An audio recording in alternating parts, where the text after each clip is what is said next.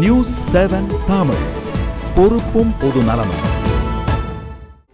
இன்னைக்கு சிறப்பு விருந்தினர் பகுதியில் யார் வந்திருக்காங்க அப்படின்னு சொன்னா பேசுறது நம்ம எல்லாருக்குமே ரொம்ப பிடிக்கும். ஆனா ஒரு சிலர் பேசுறது மட்டும்தான் நம்ம வந்து ரொம்ப ரசிச்சு கேட்போம். அப்படி இவர் பேச்சு வந்து உலகத்துக்கே தெரிய வச்ச ஒரு மனுஷன் தான் வந்து வந்திருக்காரு. வெல்கம் ஆர்ஜே தீனா அவர்கள். வெல்கம் டு ஸ்டுடியோஸ் எப்படி இருக்கீங்க? நல்லா இருக்கு நல்லா இருக்கீங்களா? ஆர்ஜே வாகிறதுக்கு முன்னாடி என்னவா இருந்தீங்க நீங்க? என்ன உங்களை வந்து ஆர்ஜேவா தான் எல்லாருக்குமே தெரியும். ஆர்ஜே வாரத்துக்கு முன்னாடி என்னவா இருந்தீங்க நான் வந்து ஒரு பி மெக்கானிக்கல் இன்ஜினியர் அப்புறம் இருந்து எப்படி வந்தீங்க ஆர்ஜே அதுதான் ஆக்சுவலி காலேஜ் டேஸ்லேருந்து நம்ம நிறைய மிமிக்ரி ஷோஸ்லாம் பண்ணுறது ஸ்டேஜ் ஷோஸ் ஹோஸ்ட் பண்ணுறது ஸோ அங்கே தான் ஆரம்பிச்சது. டூ தௌசண்ட் த்ரீ வரைக்கும் நான் பி மெக்கானிக்கல் படித்தேன் பட் மெக்கானிக்கல் நினைக்கிறேன். சரியாக படிக்கல நான் அது. அதுக்கு வேலையெல்லாம் ட்ரை பண்ணேன் மார்க்கெட்டிங்கில் குவாலிட்டி கண்ட்ரோல் இன்ஜினியர் நிறைய ட்ரை பண்ணி பார்த்துட்டு இந்த எயிட் ஹவர்ஸ் ஜாப் நம்மளுக்கு ஒத்து வராது. ஷிஃப்ட் பேசிஸ்லாம் நம்மளுக்கு வேலை கேட்காது. ஸோ நமக்கு என்ன நல்லா வருமோ அதில் கான்சென்ட்ரேட் பண்ணலாம். அப்படிங்கிறப்ப தான் ரெண்டாயிரத்தி மூணில் தான் வந்து ப்ரைவேட் ஸ்டேஷன் ஆரம்பிச்சது. So, அதாவது அப்போ தான் வந்து தனியார் எஃப்எம் ஸ்டேஷன் பண்பலைகள் வர ஆரம்பிச்சது. அப்போ வந்து ஒரு பிரபலமான ஒரு பண்பலைக்கு வந்து இந்த மாதிரி தொகுப்பாளர்கள் வேணும்னு சொல்லி அனுப்பியிருந்தாங்க. ஸோ அதுக்கு என்னுடைய சிவி ரெடி பண்ணி அனுப்பி வச்சுருந்தேன். எனக்கு இன்டர்வியூவும் வந்தது. கிட்டத்தட்ட அந்த இன்டர்வியூ டே அன்னைக்கு எண்பது பேர் வந்து ஃபைனலுக்கு செலக்ட் பண்ணியிருந்தாங்க. ஸோ அந்த எண்பது பேரில் வந்து அஞ்சு பேர் தான் செலக்ட் பண்ண போகிறாங்க என் பக்கத்தில் ஒருத்தர் வந்து ரேடியோவை கண்டுபிடித்தது மார்கோனி வரைக்கும் உட்காந்து புக்கில் வச்சு படிச்சுட்டு இருக்காரு. இதெல்லாம் படித்து வச்சுக்காங்க கேட்பாங்கன்னு. பட் நான் எதுவுமே எடுத்துகிட்டு போகல எதுவுமே ப்ரிப்பேர் பண்ணல. என்ன கேட்டாலும் பார்த்துக்கலாம் அப்படின்ட்டு ஒரு டேரா ஸோ அந்த பர்டிகுலர் டே அவரோட பேரை மென்ஷன் பண்ணலாமான்னு தெரில கலாநிதி மாறன் அவர்கள் தான் என்னை இன்டர்வியூ பண்ணினார். ஸோ தெரில அவர் என்கிட்ட ஏதோ ஒரு டேலண்ட் இருக்குது இந்த பையனை இன்ட்ரடியூஸ் பண்ணலாம்னு நினச்சாரு. ஸோ ரெண்டாயிரத்தி மூணில் ஆரம்பித்து பயணம் நல்லாவே போயிட்டுருக்கு. இந்த ஹோப் வந்து ரோப்புன்னு சொல்லுவாங்க இல்லையா? அதை நம்ம ஸ்ட்ராங்காக பிடிச்சிக்கணும். நம்மளுடைய பேஷனை நம்ம ஹோல்ட் பண்ணிட்டோம்னா ஆட்டோமேட்டிக்காக நம்ம லைஃப்பில் நம்மளுக்கு பிடிச்சது செய்யும்போது எல்லாமே நல்லா இருக்கும் இல்லையா? அது நடந்தது. கண்டிப்பா. ஆர்ஜேன்னு சொன்னா நிறைய ஆர்ஜேஸ் இருக்காங்க. நீங்க அதோட விடல. அதுல வந்து ஒரு பெரிய ரெக்கார்ட் ஒன்று கிரியேட் பண்ணியிருக்கீங்க கின்னஸ் புக் ஆஃப் வேர்ல்ட் ரெக்கார்ட்ல அது உங்க ரெக்கார்டே நீங்க பிரேக் பண்ணி டூ தௌசண்ட் செவன்ல ஒரு ரெக்கார்ட் அது திருப்பி நீங்களே முறியடிச்சு டூ தௌசண்ட் எயிட்ல ஒரு ரெக்கார்ட் அதை பத்தி சொல்லுங்க. அதாவது அதுக்கு முன்ன வரைக்கும் வந்து ரேடியோ வந்து ஒரு ஆஸ்பிரேஷனல் மீடியம் கிடையாது. டெலிவிஷனில் வர்றது ஒரு சினிமாவில் வர்றதுலாம் வந்து நிறைய பேருக்கு வந்து ஓ people look up to them. நம்மளை வந்து ரேடியோவில் இருக்கவங்க வந்து என்னப்பா பாட்டு போடுறத பற்றி பேசுவாங்க? ஏதோ மொக்க போடுவாங்க அப்படிங்கிற மாதிரி ஒரு மித்து இருந்தது ஆக்சுவலி அந்த கின்னஸ் ரெக்கார்டுக்கு அப்புறமேல் வந்து the people started looking at me in a different way அது எனக்கு ரொம்ப பிடிச்சிருந்தது. அது வந்து ரெண்டாயிரத்தி எட்டில் வந்து பீஜிங் ஒலிம்பிக்ஸ் நடந்துட்டு இருந்தது. ஸோ ரேடியோவில் வந்து நம்ம ஒலிம்பிக் சம்மந்தப்பட்டு ஏதாவது பண்ணலாம் அப்படிங்கிறப்போ எங்களுடைய ரேடியோ ஸ்டேஷன் வந்து பிக் எஃப்எம் நேஷ்னல் லெவலில் வந்து எல்லா ஆர்ஜிஎஸும் they have to do marathon radio marathon பண்ணலாம் அப்படின்ட்டு. அப்போ என்னை மட்டும் வந்து கின்னஸ்க்காக சூஸ் பண்ணாங்க. கின்னஸ்க்கு சூஸ் பண்ணது வந்து பார்த்தீங்கன்னா ஸ்டிஃபின வினோரின்னு சொல்லிட்டு இட்டாலியன் ஆர்ஜே. அவர் வந்து நூற்றி முப்பத்தஞ்சு மணி நேரம் தொடர்ந்து நிகழ்ச்சி பண்ணி ஒரு சாதனை பண்ணியிருக்காரு. நான் நூற்றி முப்பத்தாறு மணி நேரம் பண்ணினாலே அந்த சாதனையை முறியடிச்சிருவேன். பட் நிறுத்தலையே ஆக்சுவலி அதுதான். மைண்டில் வந்து என்னென்னா வந்து நம்ம நூற்றி முப்பத்தஞ்சு மைண்டில் வச்சுன்னு வச்சுங்களேன் நூறு கூட தாண்ட மாட்டோம். இரநூறு மைண்டில் வச்சுட்டேன் நான். டூ ஹண்ட்ரட் ஹவர்ஸ் பண்ணணும் அப்படிங்கிற மைண்டில் செட் பண்ணிவிட்டு அப்போ ஆரம்பித்தப்போ இதில் முக்கியமாக இந்த நேரத்தில் ராஜன் ஒருத்தர் அவர் பர்சனாலிட்டி டெவலப்மெண்ட் ஸ்பீச்லாம் நிறைய கொடுப்பாரு. மகாத்ரியான்னு இப்போ அவருடைய பேர் அவர் சந்திக்கிறதுக்கு ஒரு வாய்ப்பு வந்தது. நீ என்ன பண்ண போகிறேன்னு கேட்டார். இந்த மாதிரி நூற்றி முப்பத்தஞ்சு மணி நேரம் பண்ணு சார். நூற்றி முப்பத்தாறு மணி நேரம் பண்ணிட்டாலே அவருடைய சாதனை முறியடிச்சிருவேன் அந்த நூற்றி முப்பத்தஞ்சு தூக்கி எடுத்து எடுத்துருவோம் மைண்டில் இருந்து. இப்போ ஒருவேளை அந்த பையன் இரநூறு மணி நேரம் பண்ணியிருந்தா நீ என்ன பண்ணியிருப்பேன்னு கேட்டார். இரநூத்தொரு மணி நேரம் பண்ணுவேன். Imagine that has done two hundred hours and aim for that that one thirty five will be nothing இல்லையா? ஸோ அப்படி தான் ப்ரிப்பேர் பண்ணேன். அதுக்கப்புறம் டாக்டர்ஸ் எல்லாம் போய் உட்காந்து அப்புறம் ஸ்லீப் ஸ்பெஷலிஸ்ட் ராமகிருஷ்ணன் ஒருத்தர் இருக்காரு அப்போலோவில் அவர்கிட்ட போய் சந்திச்சேன். சார் இந்த மாதிரி ஏழு நாள் தூங்காதப்போ வந்து ஸ்லீப்பிங் டிசார்டர்ஸ் நிறையா வரும். ஏன்னா தூங்காமல் இருக்க நம்ம ஏழு நாளுங்கிறது வந்து நூற்றி அறுபத்தெட்டு மணி நேரம். டுவெண்ட்டி ஃபோர் இன்ட்டு செவன் இப்போ நம்ம சேனல் செவன் சொல்கிறோம் இல்லையா?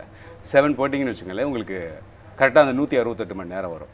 So I don't want break the record I want set record நாளைக்கு யாராவது ஒருத்தங்க சாதனை முறியடிக்கணும்னா வேர்ல்டில் இந்தியாவில் தமிழ்நாட்டில் சென்னையில் ஒரு பையன் பண்ணியிருக்கான்பா அப்படின்னு. ஏன்னா ஏன் நான் இமேஜ் பண்ணல. நான் பிறந்த ஊர் வந்து யூகே யுனைடெட் கொண்டலாம்பட்டின்னு சொல்லுவோம். சேலத்தில் கொண்டலாம்பட்டி ஸோ கொண்டலாம்பட்டியிலேருந்து ஒரு பையன் பிறந்து இங்கே வந்து இப்படி ஒரு சாதனை பண்ணுவானா அப்படிங்கிறது வந்து ஒரு பெரிய அச்சீவ்மெண்ட்டாக என்னுடைய பேரண்ட்ஸ் எல்லாம் வந்திருந்தாங்க. நான் அந்த ரெக்கார்ட் பிரேக் பண்ணப்போ. ஸோ எங்கள் அப்பாவும் அம்மாவையும் வச்சு இன்டர்வியூ பண்ணது என்னால் மறக்க முடியாது. ஸோ மை சாதனைங்கிறது வந்து எல்லாருக்குமே வாய்ப்புகள் கிடைக்கும் போது அந்த வாய்ப்பை விட்டுறக்கூடாது. அதை நான் பயன்படுத்திக்கிட்டேன். ஸோ அது ரெண்டாயிரத்தி ஏழில் ஒரு லிம்கா புக் ஆஃப் ரெக்கார்ட்ஸும் பண்ணேன். ஸோ ஒரு தொண்ணூற்றி ரெண்டு புள்ளி ஏழு மணி நேரம் தொடர்ந்து நிகழ்ச்சி பண்ணேன். ஸோ லிம்கா அண்ட் கின்னஸ் வச்சுருக்க ஒரே ரெண்டு சர்டிஃபிகேட்டையும் நான் வச்சுருக்கேன் அப்படிங்கிறது ரொம்ப பெருமையாக இருக்குது பட் அது என்னை பொறுத்த வரைக்கும் அது ஒரு ஏ ஃபோர் சைஸ் பேப்பர் தான். அதை தாண்டி நம்ம என்ன பண்ணுறோம் இந்த ஃபீல்டில் அதுதான் நம்மளுக்கு முக்கியம். ஸோ அச்சீவ்மெண்ட் மட்டும் தலையில் வச்சுட்டு நம்ம ஒன்றுமே பண்ண முடியாது.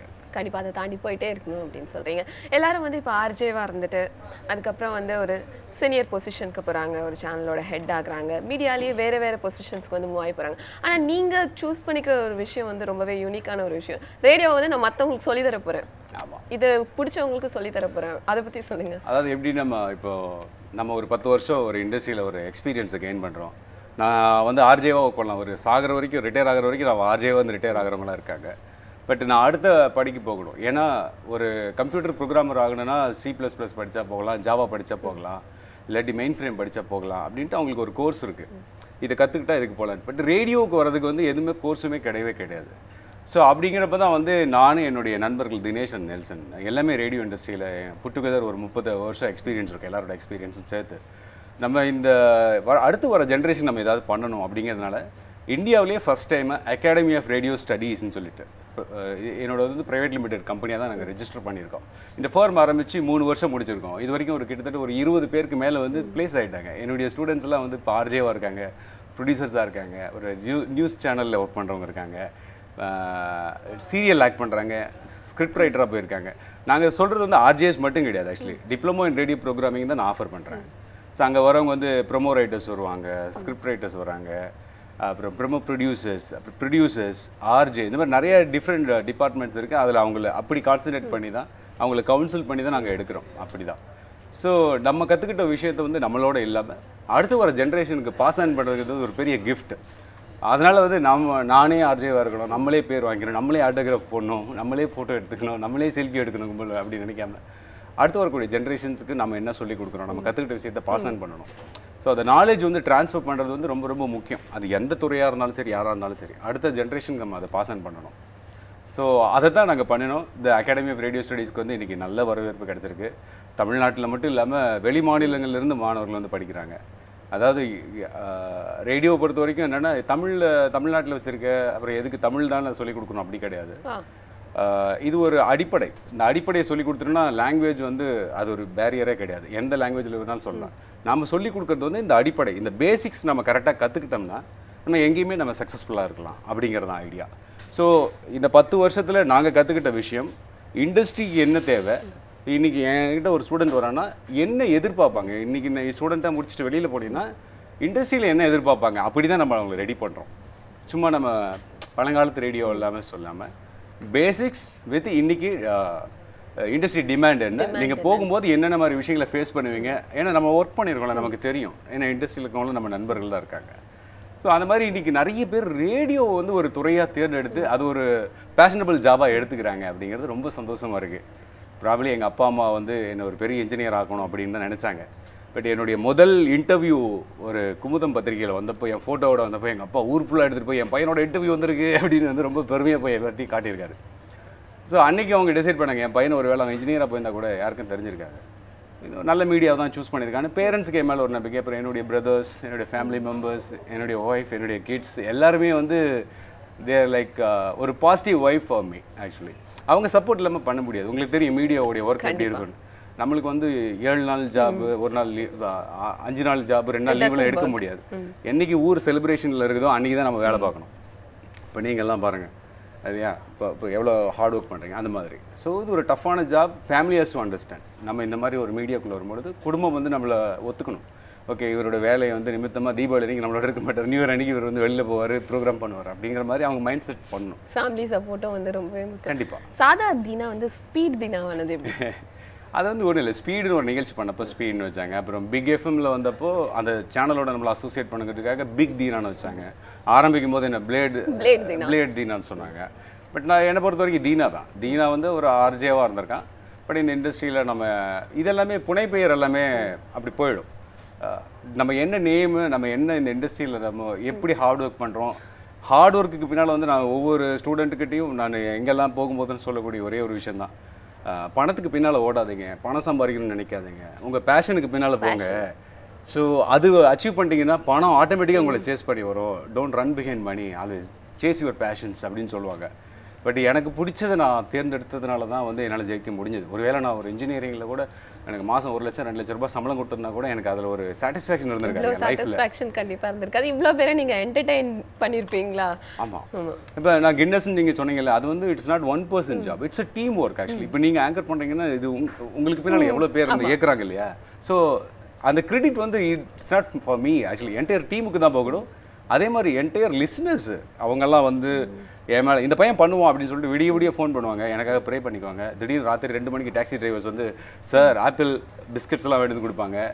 திடீர்னு ஒரு நாள் நைட் வந்து ஒரு குரூப் ஆஃப் பசங்க வந்து தலைவா அப்படின்னு காலில் விழுந்து கட்சி ஆரம்பிங்க. நான் உங்களோட கட்சியில் சேர்றேன்னாங்க. இதெல்லாம் வந்து பயங்கர நகைச்சுவை இருக்கு. ஏன்டா? அப்படின்னு நினச்சேன்.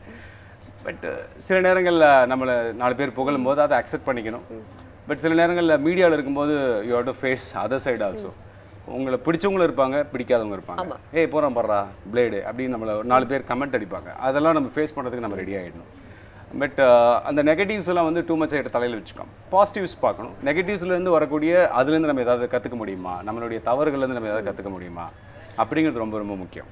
நல்லா ரொம்ப பாசிட்டிவா பேசியிருக்கீங்க இந்த காலை நேரத்துல. ரொம்பவே சந்தோஷமா இருக்கு. இந்த ஸ்டுடியோஸ்க்கு வந்து இவ்வளோ நேரம் எங்க கூட ஸ்பெண்ட் பண்ணதுக்கு ரொம்பவே தேங்க்ஸ் வெளிச்சம் நிகழ்ச்சிக்கும் நியூஸ் செவன் சேனலுக்கும் என்னுடைய மனமார்ந்த வாழ்த்துக்கள்.